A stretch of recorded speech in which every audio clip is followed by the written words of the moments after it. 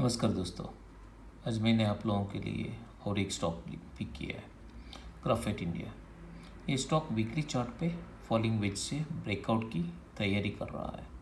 May be 315 से retest कर सकता है और अपर साइड निकल सकता है।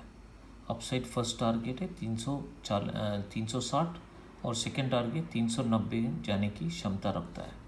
सो आप लोग भी चार्ट को एनालिस कीजिए और अपना फाइनेंशियल एडवाइज़र से सलाह लेके इन्वेस्टमेंट कीजिए। हम कोई से भी रजिस्टर्ड एडवाइज़र नहीं है, ये सिर्फ़ एजुकेशन पर्पज़ के लिए कर रहे हैं। थैंक यू नमस्कार।